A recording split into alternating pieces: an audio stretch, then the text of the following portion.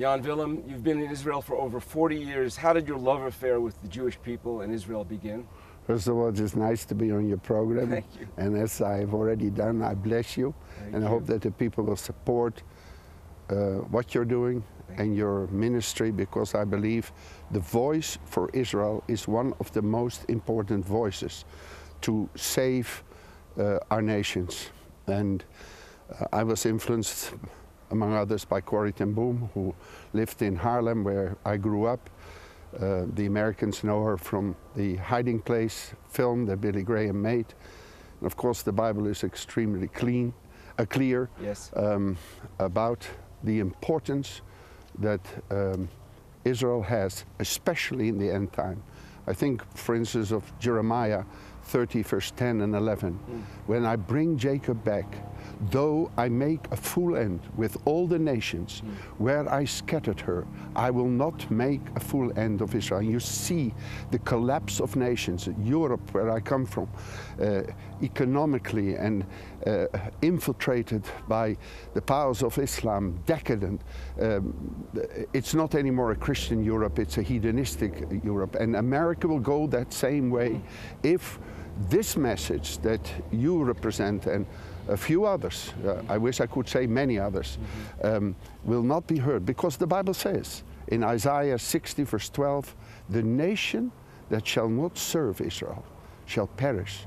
And Mordecai said to Esther, if you keep quiet, now I speak to every Christian, whether they are Jewish believers or Gentile believers in America, if you keep silent now, God's plan with Israel will go on.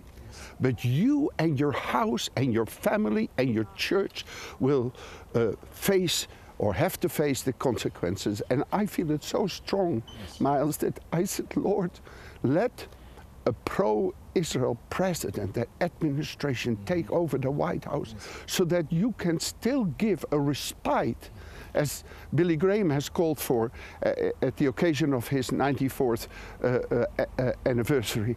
Uh, give a respite, Lord. Give a respite.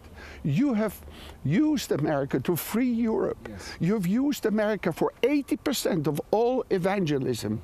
Uh, uh, Loren Cunningham is an American. George Verwer is of Operation Mobilisation is an American. Yes. Uh, Billy Graham is an American.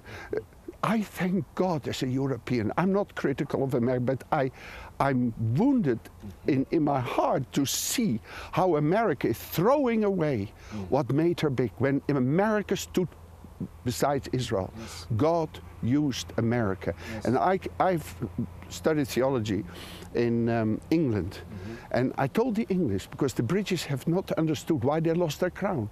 I said, when you opened up Palestine, as it was called then, Yes. for the Jews to immigrate Yes. under Christian Zionist and Christian believers' influence on Lord Balfour. He had an aunt who was a firm believer in the return of the like the Corrie ten Boom family.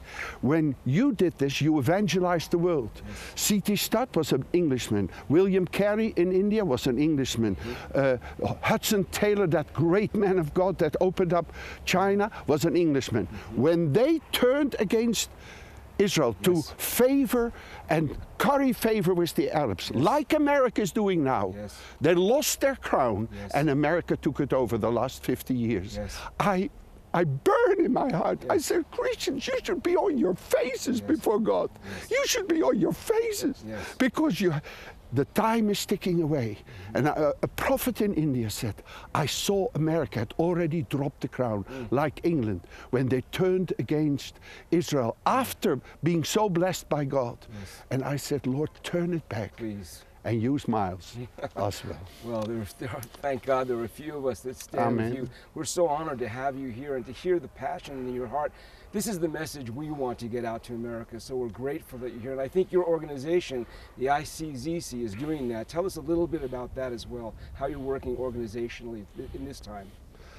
I, I was the main principal founder of the Christian Embassy. Yes. And we did that in 1980 because um, Jerusalem was on the chopping block. And I, uh, Teddy Kollek remained a friend, the, the mayor of Jerusalem, uh, ever since. And when I at my marriage in the garden tomb where I preached seven years, he came to my marriage and we did it under the. Beautiful. And my, um, my, my daughter-in-law said, uh, Jan Willem van der Hoeven makes a whole micmash. You don't know if it's Jewish or Christian, but, but we follow after all It's God. an Orthodox rabbi yes. who has no equal, no equal in Israel. There is such a beauty in his character. I'm so proud of him. I don't just believe in him. I'm so proud of my Lord. And I can understand that he says, don't call anyone your rabbi. Once you have met the rabbi, I don't understand people, oh, I'm going to look this. I, I says, I have the best rabbi that teaches me that. And even messianic rabbis, if they're completely true with the Bible, they should not call themselves messianic rabbis. They're just brothers, as we are. So uh, I'm proud of this Lord that is bringing the Jews back. Why?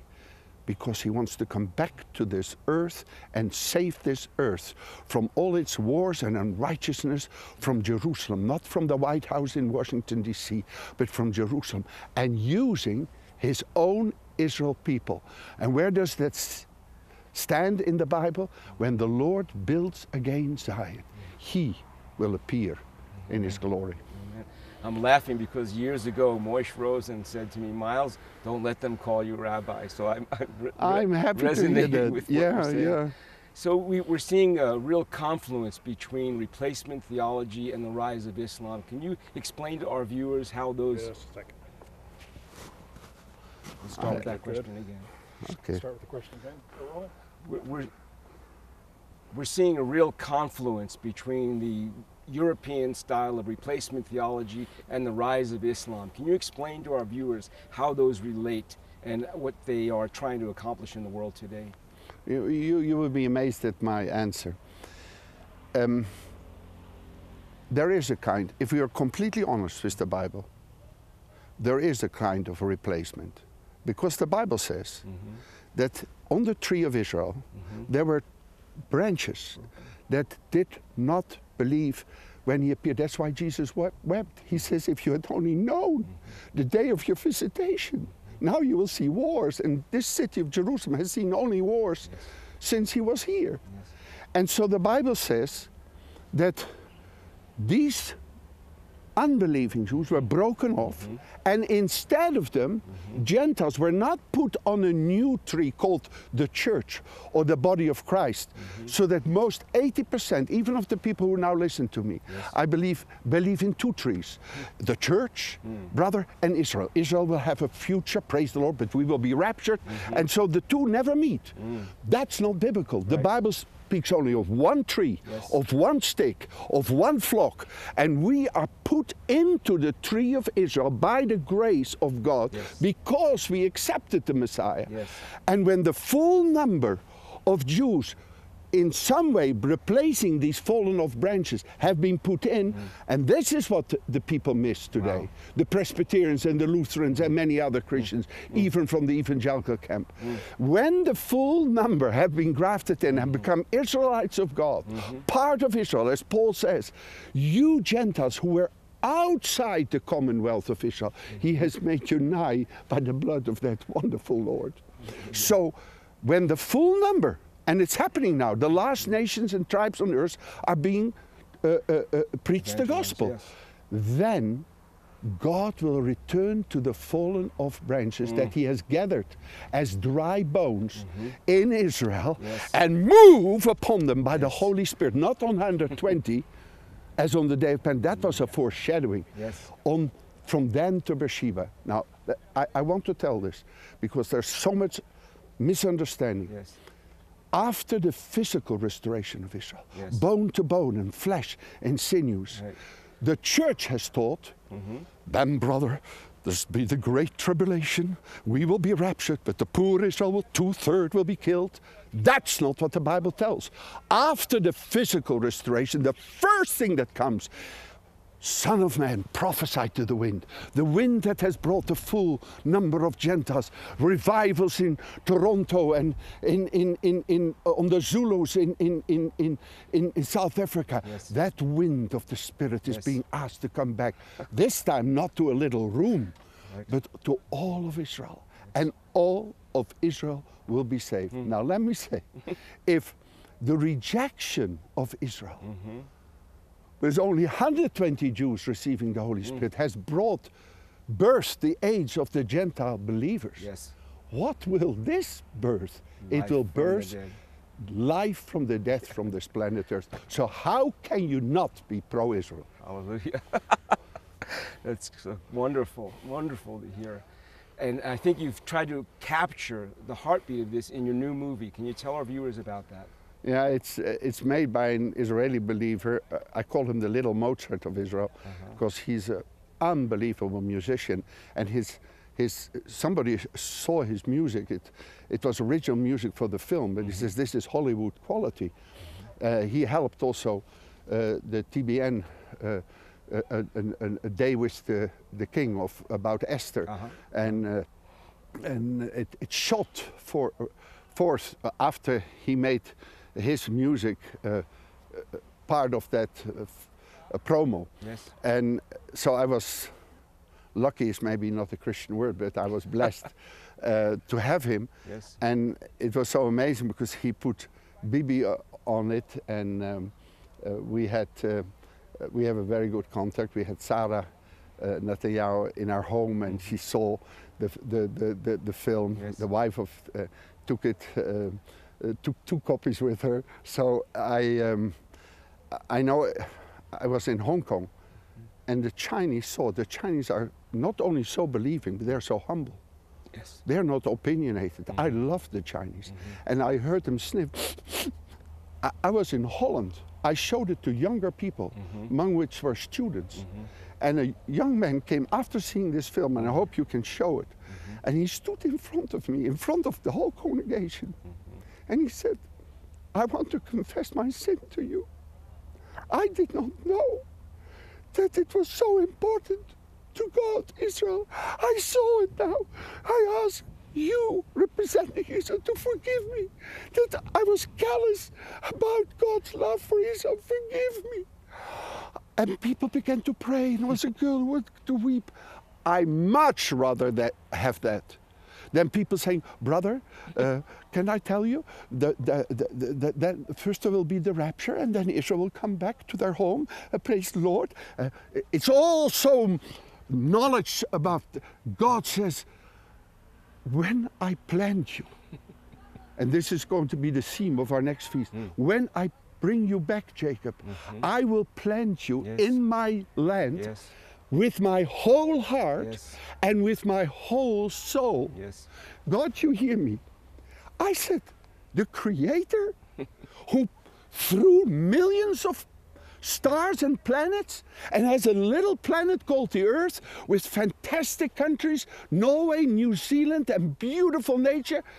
He is so intent to bring his people to his land that not just as a part of it's now the time, brother.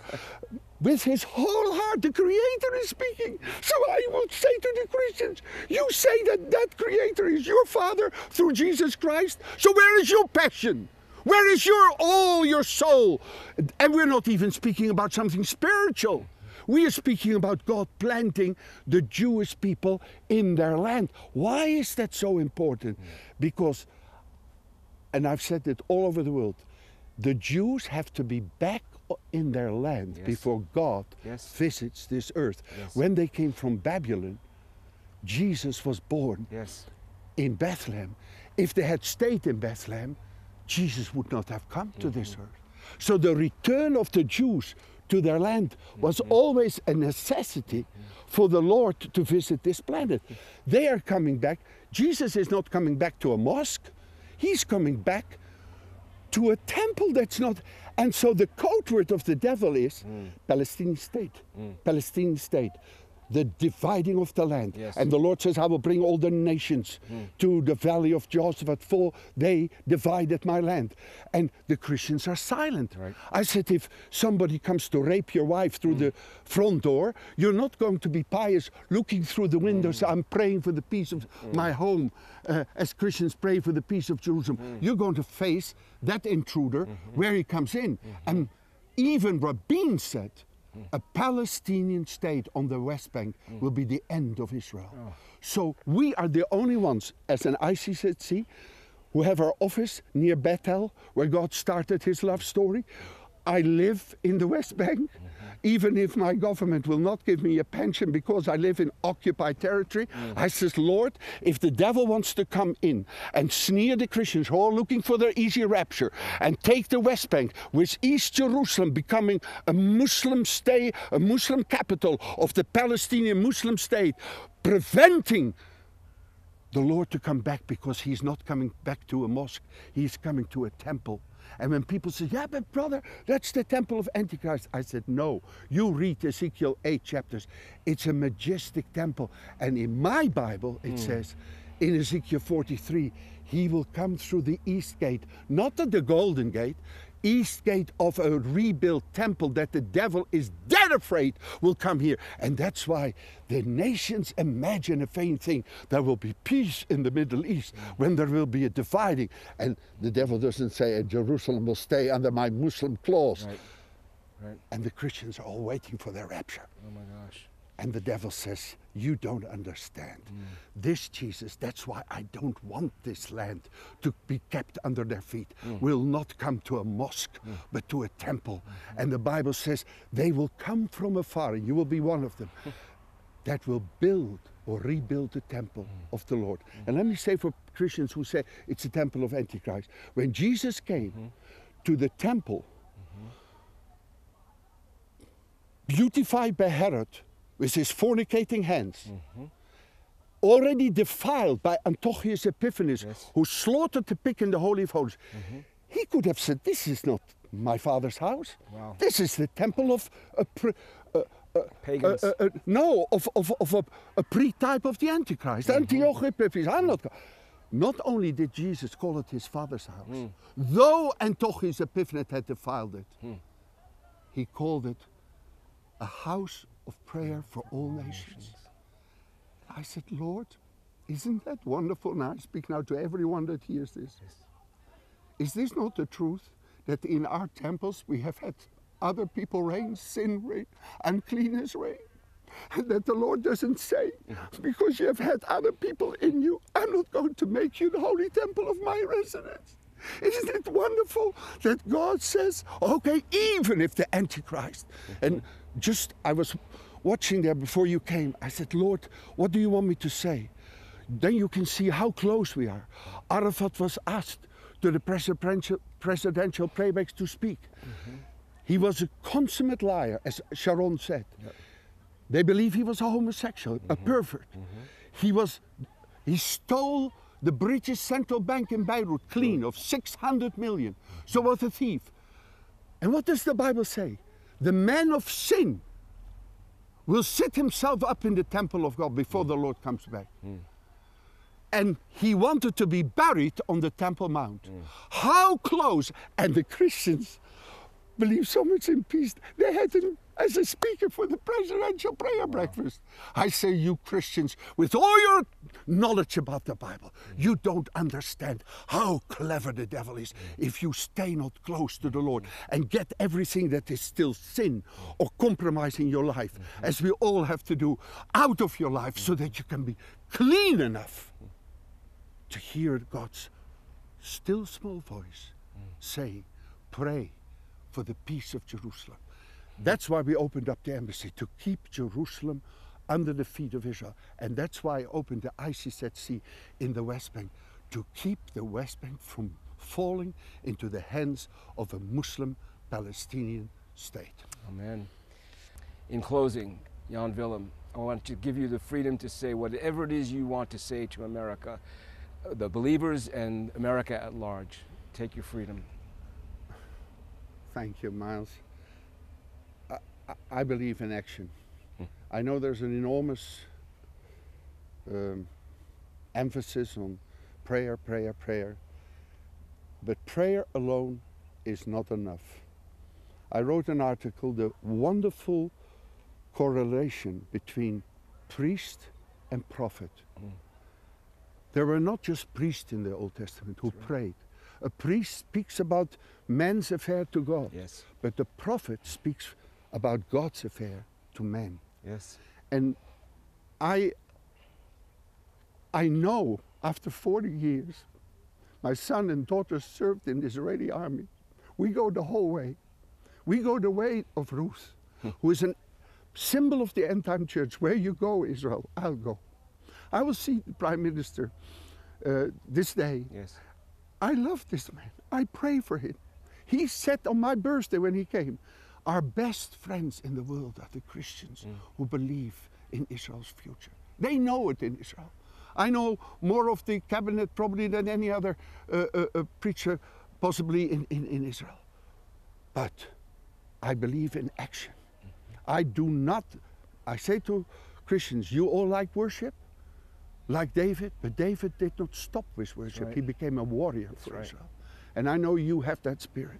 And uh, if people say, but what shall I do? All I would plead with you is to give them my Israel website, uh, israelmybeloved.com, Yes. because I've been trained after 40 years. I sp- preached seven years at the empty tomb. I never had a rifle, never heard about Muhammad leaving an empty tomb or Buddha leaving an empty tomb.